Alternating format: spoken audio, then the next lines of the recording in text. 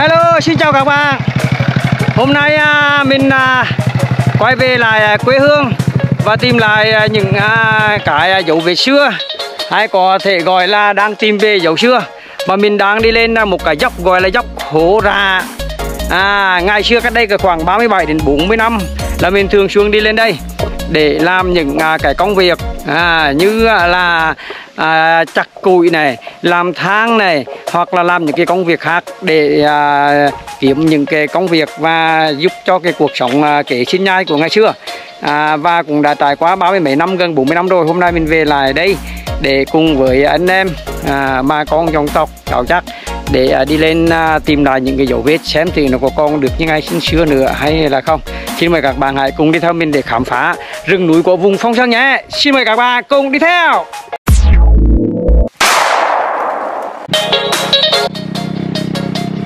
Đó phía đằng sau mình nữa là còn hai ba xe loại máy nữa đang còn tiếp tục à, chạy đi. Đó, để cùng nhau hứa hẹn lên tầm ở vùng cái thai. Cái thai là một uh, nhánh sông nhỏ nó thuộc uh, về à, sông bồ nó được hòa nhập vào mà phía bên trên cái thai thì là có à, gọi là à, trắng lưu trắng lưu của nghĩa là sông trắng hai á, là cách đây năm 2020 là à, bão lụt rất lớn và nơi đó cũng đã làm gây bao nhiêu à, tổn thất tổn hại cho à, nhân dân bà con cũng như là đơn vị à, bộ đội thiệt mạng ở trên đó. Thì chỗ này là chỗ นี้ là chỗ นี้ là của dọc uh, tiếng rắn bé tiếng rắn à, căn này. tiếng rắn là, bên ở lúc tuổi đôi tránh mà bên hai bước. Bên làm nhà là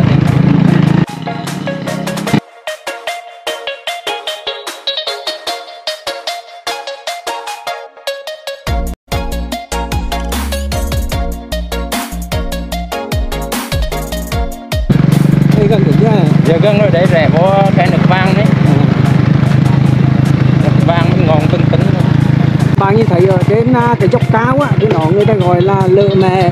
Vì trên đó là có thờ một cái tượng của đức mẹ. À, và mình nhớ không nhầm là mình có xem trong một cái tư liệu và có nói rằng ngày xưa là có ông trương văn hình à, ông người ở làng sơn quả. Và ông đã đi ra hà nội tham dự một cái à, cuộc à, họp hay cái gì đó của bên công giáo và sau khi ông đi về thì ông đã chỉnh cái bức tường này về tại à, à, An Lộ và thuê xe để chở lên đây. Với một cái nguyện vọng của ông đó là những cái loài cọp không còn về ở dưới thôn Xuân Quả nữa. Vì ngày xưa cọp hay xuống những cái vùng Xuân Quả và Phong Tân à, rất nhiều. Cho nên là ông cũng muốn mà đưa cái trường của Đức Mẹ về đó để à, đem đến một cái điều gì đó ăn lành cho bà con người dân chúng rồi, các bạn hãy à, nhìn thấy xem đây là rừng núi bạc ngàn mênh mông ngày xưa thì rừng này là toàn là rừng nguyên sinh nhưng mà sau cái thời gian sau này á, là do cái rừng kinh tế phát triển và đã đưa cái à, rừng rừng núi này để trở thành là trồng những cái loài cây à, để à, có phần à, nâng cao cái đời sống à, cho nhân dân à, vùng à, phong sơn chỗ này là ngày xưa là gọi là khe đầm mai đúng không Ờ, phải đậm mai khe đầm mai bây giờ nó hết nước có thấy nữa đâu. Giờ nó cũng càng đó tại vì cái này đông lên nó hụt nước nhiều quá. Vì mình nhớ cái ngày ngày xưa đi vào đây đi lâm tháng á. Bày rửa đấy. À lên dừng đây để mà rửa. Mất rồi thế mới hết rồi. Đấy. à đây đây đây đây ở đây. Ô bây giờ hết nước rồi. Không còn nước nữa đâu. Càng đó à. Ôi, giờ một con đường rất đẹp. Quá tuyệt vời. Đi chim á là nó đi vào chiều nó đi à, quá tuyệt vời cái nơi mà chúng tôi đến đấy ngày xưa gọi là hồ nước gì là tại vì bất cứ lúc nào cũng có nước từ trong núi chảy ra chạy ra à đây đây đây hiện tại bây giờ một con nước gì à nước nước nước con con chảy ra bây giờ là lên dốc của ngựa một cái dốc rất cao đây chỉ có đi ờ, số một thôi không đi một số hai bây giờ đi xe máy thì cảm thấy vất vả vì ngày xưa là người dân à, phong sơn có đủ đều là đi lên dốc này để à, à, đi à, bán đồ tức là đi vào và làm đồ xong rồi bán đồ ra để phục vụ cho những cái nhà máy nước và những cái xe ngày xưa là dùng cái bằng than của một cái thời à,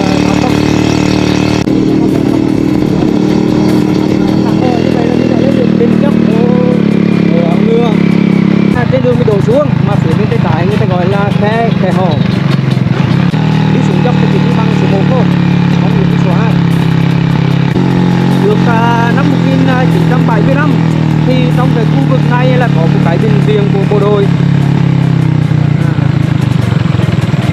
là cái căn cứ là nơi mà bộ đội làm cái bệnh viện ở trong đó để à, cứu chữa cho những à, à, bộ đội bị à, thương binh À, đi quay sang đây thì các bạn thấy bên này là có một cái thác nước nó thác nước từ trên xa à, và người ta gọi cái này là cái hồ cái hồ có nghĩa là một cái xe nó gom lại không phải là gì đài nó một cái thác nước ở bên trong nó tạo ra thấy một cái thác nước rất đẹp còn một cái xe nó rất gọn gàng cho nên người ta gọi cái tên gọi là cái hôm tức là nó ốm lại á Nó là như vậy.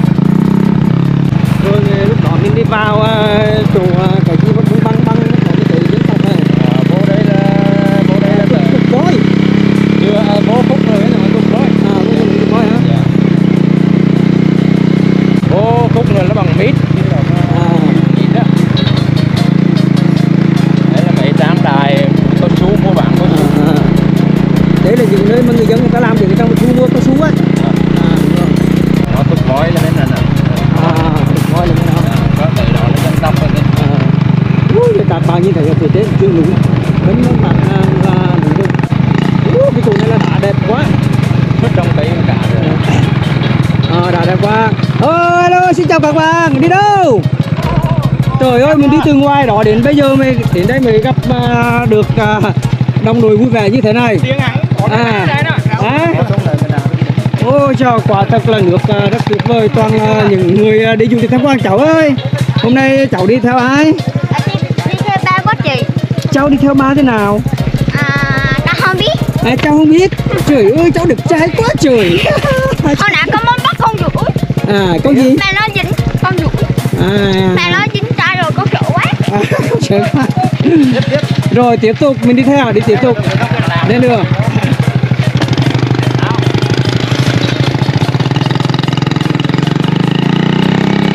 Như vậy là mình đã nhập vào à, được một à, đoàn à, của anh em trong giò hồ dòng hồ của mình chiều hôm nay.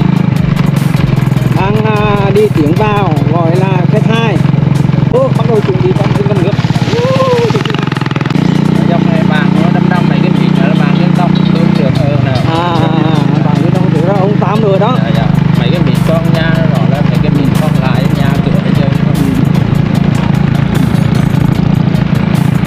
với mình vẫn còn lại rất nhiều cái rừng nguyên sinh. À, mà nó là một cái nơi mà rừng rất xanh và cái bụi à, nó cũng phải à, thẳng thang giống như à, cái rừng trồng. Để phân biệt được cái rừng nguyên sinh và rừng trồng là mình rất dễ biết. Cái rừng nguyên sinh là những cái rừng mà có những cái cây. Nhiều lúc là trên cây cao nó sẽ có nhiều à, cái cây nhỏ nó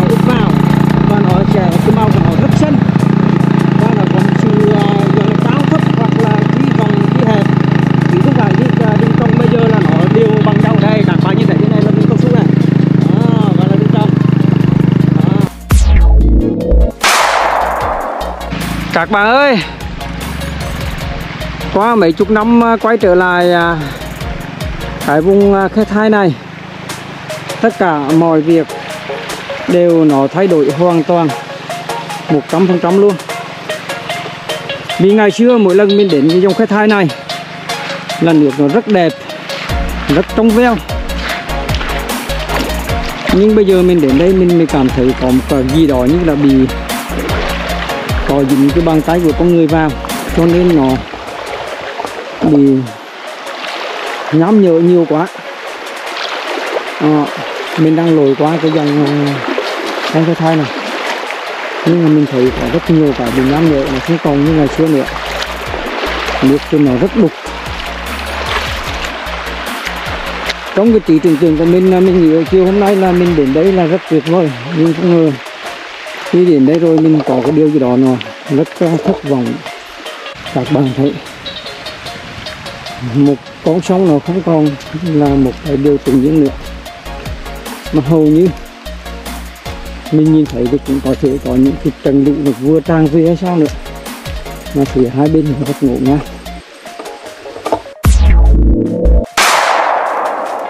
do ờ, ở à, khách khai thai bây giờ à, người dân người ta đã làm việc và nó đã hóa đi rất nhiều không còn như ngày xưa nữa. Cho nên à, đoàn của mình anh em mình đã tìm đến à, một dòng xe khác. À, hy vọng là sẽ có một nơi rất tuyệt vời để à, ngâm mình vào dòng nước lạnh. Đây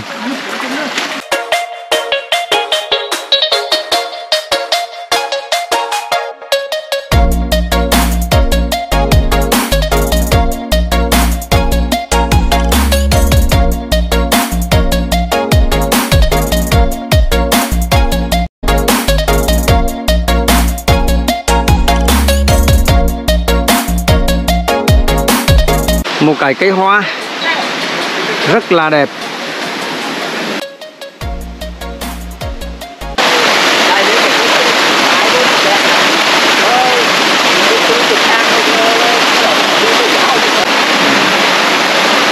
Đúng là tìm về dấu chưa? Rất tuyệt vời. Và mát này. Để mình xem nước mát thế này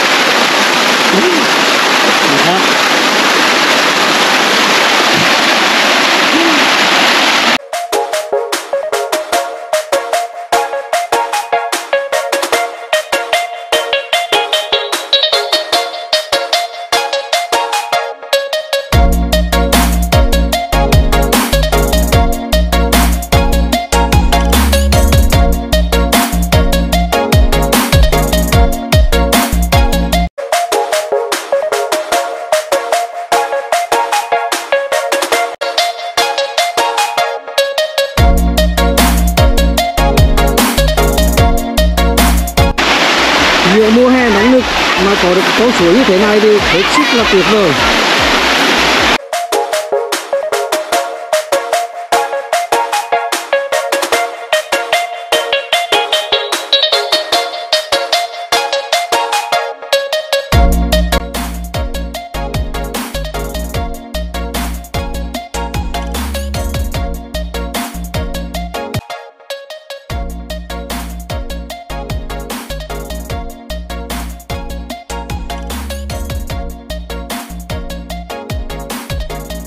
Thế là một buổi chiều đã trôi qua, kết thúc cuộc hành trình. Hãy subscribe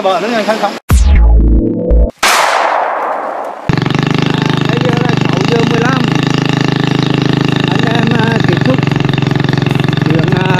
Để không bỏ lỡ những video